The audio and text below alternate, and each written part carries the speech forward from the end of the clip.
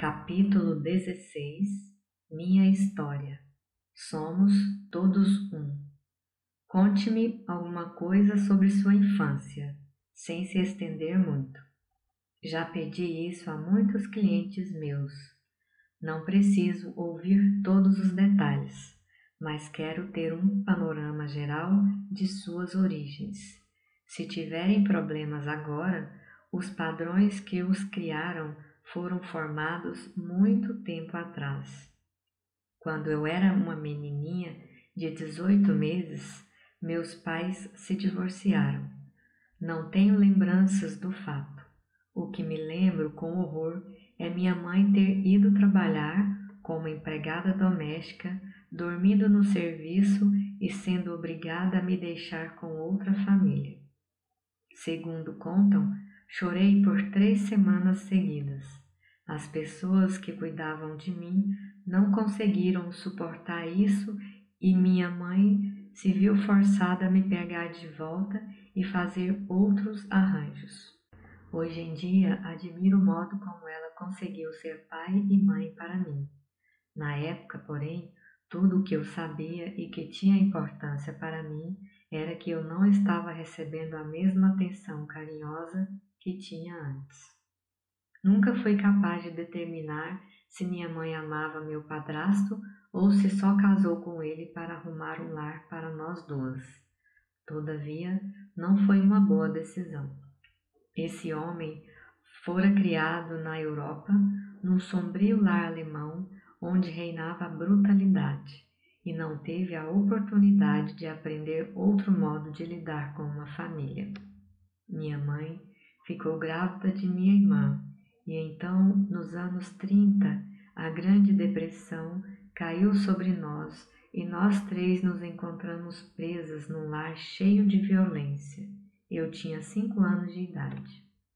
Para piorar o quadro, foi mais ou menos nessa época que um vizinho, um velho bêbado, como me recordo, me estuprou. O exame médico ainda está vívido em minha mente como está também o julgamento em que fui a estrela do caso. O homem foi condenado a 15 anos de prisão. Ouvi repetirem com tanta frequência: a culpa foi sua, que passei muitos anos temendo que quando o velho bêbado fosse liberado, ele iria voltar e me pegar por eu ter sido tão má a ponto de colocá-lo na cadeia. A maior parte de minha infância foi passada suportando tanto abusos físicos como sexuais, entremeados de muito trabalho pesado. Minha autoimagem ia ficando cada vez pior e poucas coisas pareciam dar certo para mim. Passei a expressar esse padrão no mundo exterior. Ocorreu um acidente quando eu estava no quarto grau que mostra bem como era a minha vida na época. Houve uma festa na escola com muitos bolos para as crianças. A maioria dos meus colegas era de famílias de classe média. Eu me vestia mal, meus cabelos pareciam cortados com uma tigela. Estava sempre com os mesmos sapatos fechados e tinha um cheiro forte por causa do alho cru que era obrigado a comer todos os dias para espantar os vermes. Nunca comíamos bolo em casa, pois não podíamos nos dar a esse luxo. Uma velha vizinha me dava dez centavos por semana e um dólar no Natal e no meu aniversário. Os dez centavos iam para o orçamento familiar e o restante era usado para comprar minhas roupas de baixo para o ano inteiro em lojas baratas. Bem, naquele dia estava havendo a festa na escola e havia tanto bolo que, enquanto estavam cortando-se e servindo, algumas das crianças que podiam comer bolo todos os dias estavam ganhando dois até três pedaços. Quando finalmente chegou a minha vez, e claro, eu era a última da fila, não havia mais bolo, nem ao menos uma fatia. Entendo claramente agora que foi minha crença já confirmada de que eu era indigna e não merecia nada que me colocou no final da fila sem nenhum pedacinho de bolo. Foi o meu padrão. eles estavam apenas refletindo minhas crenças. Quando eu estava com 15 anos, resolvi que não podia mais aguentar abusos sexuais e fugi de casa e da escola. O emprego que arranjei como garçonete me pareceu muito mais fácil do que o trabalho pesado que tinha de fazer em casa. Estando faminta de amor e afeto e tendo a menor possível das autoestimas, de bom grado, eu dava meu corpo a qualquer homem que fosse gentil comigo, e logo depois de completar 16 anos, dei à luz uma menina. Sabia que seria impossível ficar com ela e lhe arranjei um lar bom e amoroso. Encontrei um casal sem filhos, ansioso por adotar um bebê. Fiquei morando na casa deles nos últimos quatro meses de gestação e quando fui para o hospital tive a menina já em nome deles. Assim, nunca experimentei as alegrias da maternidade, só a perda, a culpa e a vergonha. Na época, tudo aquilo era só um período vergonhoso que deveria ser esquecido o mais rápido possível. De minha filha, só me recordo dos artelhos muito grandes, incomuns como os meus. Se um dia nos encontrarmos, saberei quem ela é por causa deles. Saí daquela casa quando minha filhinha estava com cinco dias de vida e voltei para procurar minha mãe, que continuava uma vítima. Venha, eu lhe disse, você não precisa mais suportar isto. Vou tirá-la daqui. Ela me acompanhou, deixando para trás minha irmãzinha de dez anos, que sempre fora a queridinha do pai. Depois de ajudar minha mãe a conseguir emprego de doméstica num pequeno hotel e acomodá-la num apartamento onde podia viver livre com algum conforto, considerei terminadas minhas obrigações. Parti para Chicago com uma amiga para passar um mês naquela cidade e só voltei depois de 30 anos. Naquela época, a violência que experimentei quando criança, combinada com o sentimento de não ter nenhum valor que desenvolvi ao longo dos anos, atraíam para minha vida homens que me maltratavam e frequentemente me agrediam. Eu poderia ter passado o resto de minha vida menosprezando os homens e provavelmente ainda estaria tendo as mesmas experiências. No entanto, pouco a pouco, por causa do sucesso na área do trabalho, minha autoestima começou a crescer e esse tipo de companheiro deixou de encontrar em mim o padrão de acreditar inconscientemente que eu merecia ser maltratada e foi saindo de minha vida. Não desculpo o seu comportamento mas sei que se fosse por causa do meu modelo, eles nunca teriam sido atraídos para mim.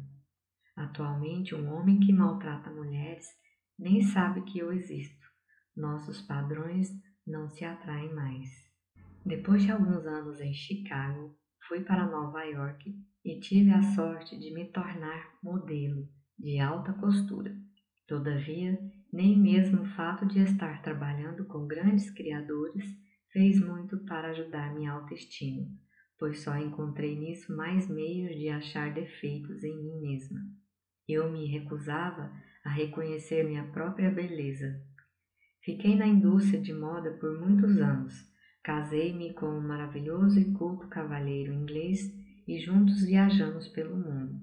Conhecemos a realeza e até tivemos a oportunidade de jantar na Casa Branca. Apesar de ser uma modelo de sucesso e de ter um homem formidável, minha autoestima ainda era pouca e continuou assim por muito tempo, até eu começar o meu trabalho interior. Um dia, depois de 14 anos de casamento, quando eu estava começando a acreditar que coisas boas podem durar, meu marido anunciou seu desejo de viver com outra mulher.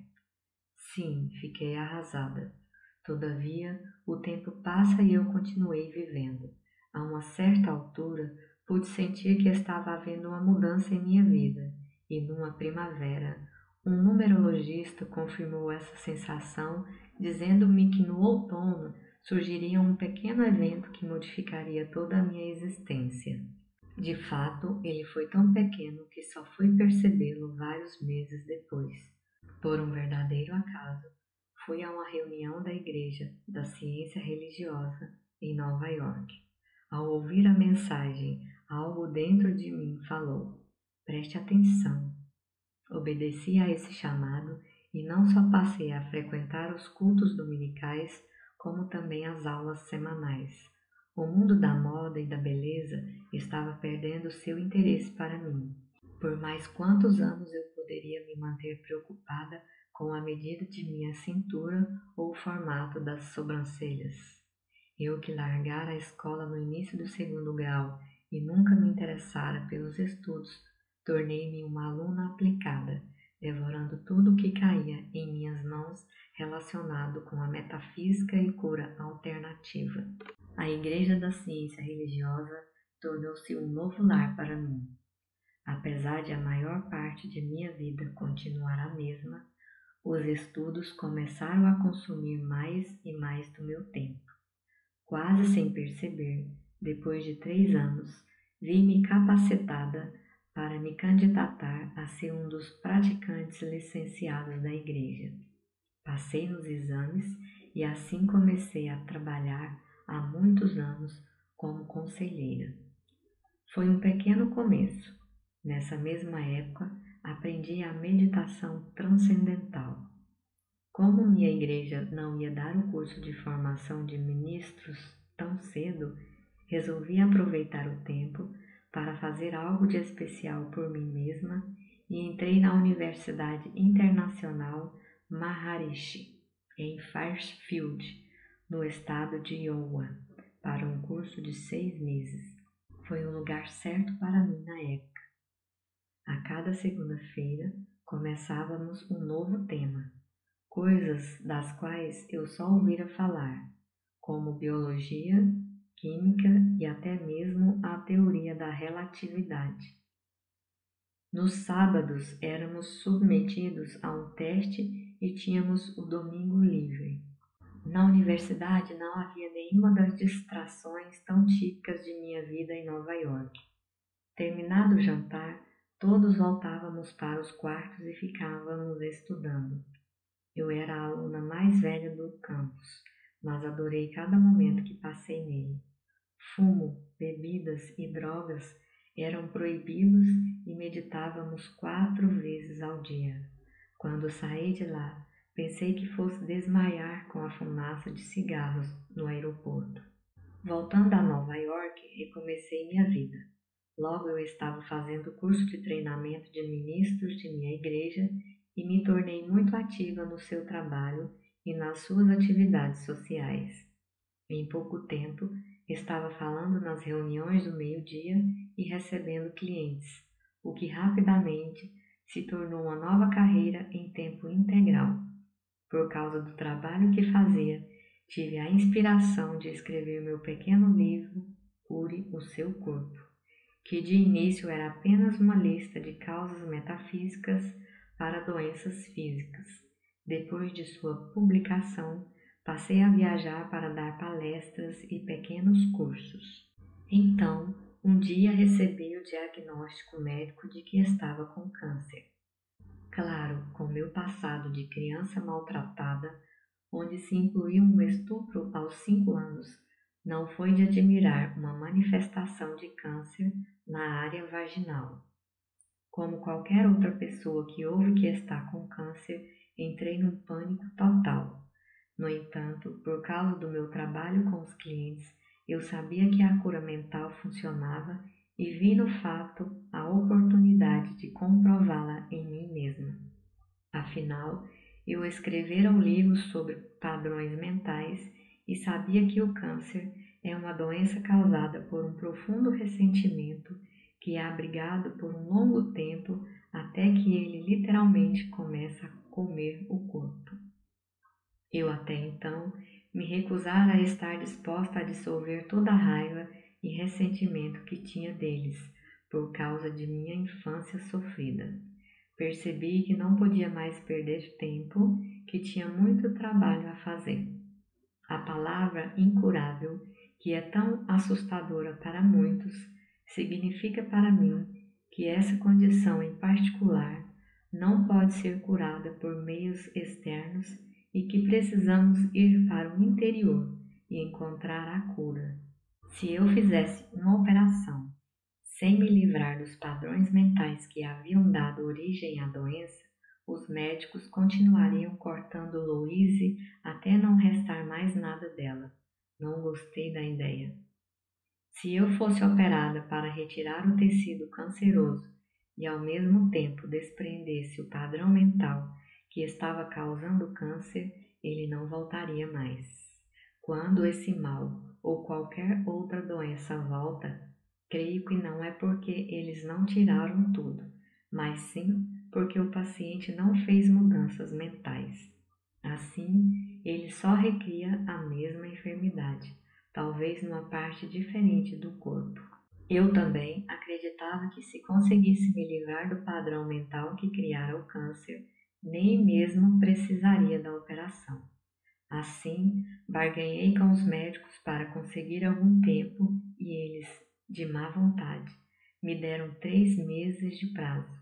Meu argumento foi o de que eu não tinha dinheiro para a cirurgia. Imediatamente assumi a responsabilidade pela minha própria cura. Li e investiguei tudo o que pude encontrar sobre métodos alternativos que poderiam me ajudar no processo. Fui a várias lojas de produtos naturais e comprei todos os livros que tinham sobre o câncer. Procurei a biblioteca pública e li mais ainda. Informei-me sobre a reflexologia nas solas dos pés e a terapia do cólon e achei que ambas seriam benéficas para mim. Eu parecia estar sendo levada para as pessoas certas. Depois de ler sobre a reflexologia, interessei-me em encontrar um terapeuta. Nessa ocasião, fui a uma palestra e, apesar de sempre procurar me sentar nas primeiras filas, naquela noite senti-me compelida a ficar no fundo da plateia. Pouco depois, um homem veio sentar-se ao meu lado e, adivinhe só, ele era um reflexologista que atendia na casa dos clientes. Fui tratada três vezes por semana durante dois meses e recebi uma grande ajuda. Eu sabia também que precisava me amar muito mais. Muito pouco amor fora demonstrado em minha infância e ninguém jamais me ensinara a me sentir bem comigo mesma eu adotara as atitudes dos meus familiares, que estavam sempre implicando comigo e me criticando, e elas haviam se tornado uma segunda natureza para mim. Através do meu trabalho na igreja, eu me conscientizara de que era certo e até essencial eu me amar e me aprovar. No entanto, ficava adiando, exatamente como acontece com aquela dieta que sempre dizemos que vamos começar amanhã. Porém, não dava mais para eu procrastinar. De início foi muito difícil ficar diante do espelho e dizer coisas como: Louise, eu te amo. Amo de verdade. Todavia, persistindo, descobri que eu não estava mais me diminuindo em certas situações como fazia no passado, o que me mostrou que eu estava progredindo com o exercício no espelho e outros. O mais importante era eu me livrar dos padrões de ressentimento que abrigava desde a infância. Era imperativo para mim desprender do meu interior todas as acusações. Sim, eu tivera uma infância difícil, cheia de maus tratos sexuais, físicos e mentais. No entanto, isso acontecera havia muito tempo e não podia ser desculpa para o modo como eu estava me tratando. Afinal, eu estava literalmente comendo meu corpo com um crescimento canceroso porque não havia perdoado. Chegara a hora de eu ir além dos incidentes em si e começar a compreender que tipo de experiências poderiam ter criado pessoas capazes de tratar uma criança daquela maneira. Com a ajuda de um bom terapeuta, expressei toda a velha e represada raiva, socando almofadas e gritando de ódio, o que me fez sentir muito mais limpa. Em seguida, comecei a juntar os pedacinhos de histórias que meus pais haviam me contado sobre suas infâncias e consegui ver um quadro maior de suas vidas. Com minha compreensão cada vez mais crescente e analisando-os de um ponto de vista adulto, comecei a sentir compaixão pelo sofrimento dos dois e a culpa que eu atirava neles foi se dissolvendo vagarosamente. Junto com tudo isso, procurei um bom nutricionista para me auxiliar na limpeza e desintoxicação de meu corpo, prejudicado por todas as comidas inadequadas que eu ingerira ao longo dos anos. Aprendi que elas se acumulam e criam um corpo cheio de toxinas, tal como os pensamentos inadequados se acumulam e criam uma mente intoxicada. Foi-me recomendada uma dieta muito rígida, constituída quase que só de hortaliças. No primeiro mês, fiz lavagens intestinais três vezes por semana. Não fui operada. Como resultado dessa completa limpeza física e mental, seis meses depois de ter ouvido o diagnóstico, consegui que os médicos concordassem com o que eu já sabia. Eu não tinha mais nem sinal de câncer. A essa altura, eu sabia por experiência própria que a doença pode ser curada se estamos dispostos a mudar o modo como pensamos, acreditamos e agimos. Às vezes, o que parece ser uma grande tragédia se transforma no melhor de nossas vidas. Aprendi isso por experiência própria e passei a valorizar a vida de uma nova maneira. Comecei a procurar o que era realmente importante para mim e acabei tomando a decisão de deixar a cidade sem árvores de Nova York e seu clima marcado pelos extremos. Alguns de meus clientes afirmaram que morreriam se eu os abandonasse, mas garanti-lhes que voltaria duas vezes por ano para me certificar do seu progresso e lembrei-lhes que o telefone encurta distâncias. Assim, fechei meu consultório e fiz uma longa e tranquila viagem de trem até a Califórnia, pois decidira recomeçar tudo de novo em Los Angeles. Embora eu tivesse nascido em Los Angeles muitos anos antes, não conhecia quase ninguém na cidade, exceto minha mãe e minha irmã, que agora moravam na periferia da cidade a cerca de uma hora do centro. Nunca havíamos sido uma família unida, mas mesmo assim tive uma surpresa muito desagradável ao saber que minha mãe estava cega havia alguns anos e ninguém se dera ao trabalho de me avisar.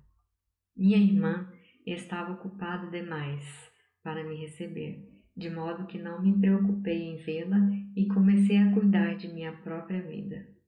Meu livro Cure o Seu Corpo me abriu muitas portas. Passei a frequentar todo tipo de reunião New Age que podia encontrar. Eu me apresentava e, quando sentia que era adequado, dava uma cópia do meu livro. Nos primeiros meses, fui bastante à praia, sabendo que quando ficasse mais ocupada, haveria pouco tempo para lazer. Pouco a pouco, os clientes foram aparecendo. Recebi convites para falar aqui e ali, e tudo foi se ajeitando enquanto Los Angeles me dava boas-vindas. Cerca de dois anos depois, pude me mudar para uma linda casa. Meu novo estilo de vida em Los Angeles não tinha nada de parecido com o que eu levara na minha infância. De fato, tudo corria perfeitamente como nossas vidas podem mudar por completo em relativamente pouco tempo. Uma noite recebi um telefonema de minha irmã, o primeiro em dois anos. Ela me contou que nossa mãe, agora com 90 anos, cega e quase surda, caíra e fraturara a coluna. No instante, minha mãe, que era uma mulher forte e independente apesar da idade, transformara-se numa criança indefesa, passando por grande sofrimento. O acidente, como tudo na vida, teve seu lado bom, pois serviu para romper a parede de segredos que havia em torno de minha irmã. Finalmente estávamos todas começando a nos comunicar. Descobri que minha irmã também sofria de um grave problema de coluna que a impedia de sentar e andar direito e lhe causava muitas dores.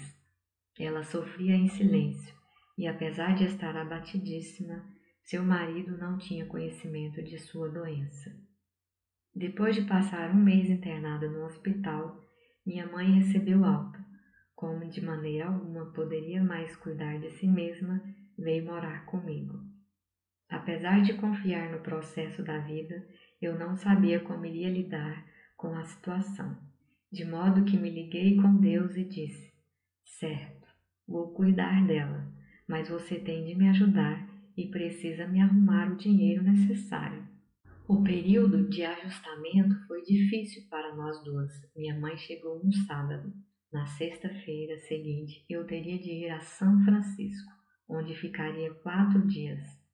Eu não podia deixá-la sozinha, nem desistir do compromisso. Mais uma vez me voltei para Deus e falei: Deus, você vai ter de cuidar disto. Preciso encontrar a pessoa certa para nos ajudar antes de viajar. Na quinta-feira seguinte, a pessoa perfeita havia aparecido e já estava instalada com a incumbência de organizar a casa para mim e minha mãe. Foi outra confirmação de uma de minhas crenças básicas. O que preciso saber me é revelado e tudo o que necessito vem a mim na divina ordem correta. Percebi que era hora de aula para mim de novo surgira a oportunidade de limpar muito daquele lixo de minha infância. Minha mãe não fora capaz de me proteger quando eu era criança, mas agora eu podia e ia cuidar dela. Começou toda uma nova aventura para mim, envolvendo minha mãe e minha irmã. Dar à minha irmã o auxílio que ela podia era um outro desafio. Fiquei sabendo que quando eu salvar a minha mãe, tantos anos atrás, meu padrasto descontara toda a sua fúria e sofrimento em minha irmã, e chegara a vez dela de ser brutalizada. Percebi que o que começara nela como um problema físico fora enormemente exagerado pelo medo e tensão, junto com a crença de que não havia ninguém para ajudá-la. E então Louise entrou em cena, não querendo ser uma salvadora, mas mesmo assim desejando dar à irmã a oportunidade de escolher o bem-estar a essa altura de sua vida. Pouco a pouco, todos os acontecimentos do passado foram se deslindando e o progresso ainda continua. Vamos progredindo passo a passo e me esforço para proporcionar uma atmosfera de segurança enquanto exploramos as várias vias alternativas de cura. Minha mãe, por sua vez, reage muito bem.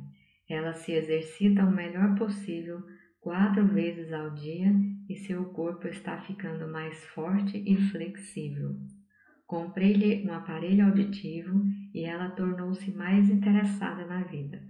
Apesar de sua crença nos princípios da ciência cristã, persuadi-la a submeter-se a uma operação para a retirada da catarata de um olho foi uma enorme alegria para ela poder ver de novo e nós também ficamos alegres por poder ver o mundo através dos olhos dela. Sua grande satisfação foi conseguir ler de novo. Minha mãe e eu começamos a encontrar tempo para conversarmos como nunca antes e uma nova compreensão surgiu entre nós. Atualmente, estamos ambas mais livres porque choramos e rimos juntas. Devo dizer que às vezes ela me irrita, o que serve para me dizer que tenho outras coisas para libertar do meu interior. Meu trabalho continua num ritmo sempre crescente. O número de funcionários que trabalham comigo aumentou sob a direção do meu gerente de pessoal, Charlie Jerke. Agora temos um centro com cursos e um programa para internos. É assim que está a minha vida atualmente, no outono de 1984. Na infinidade da vida onde estou, tudo é perfeito, pleno e completo. Cada um de nós, eu inclusive, experimenta a riqueza e plenitude da vida de maneiras para nós significativas. Agora, olho para o passado com amor e escolho aprender com as velhas experiências. Não existe nem o certo nem o errado, nem o bem nem o mal. O passado está terminado. Existe apenas a experiência do momento. Eu me amo por ter me trazido por entre esse passado até o presente.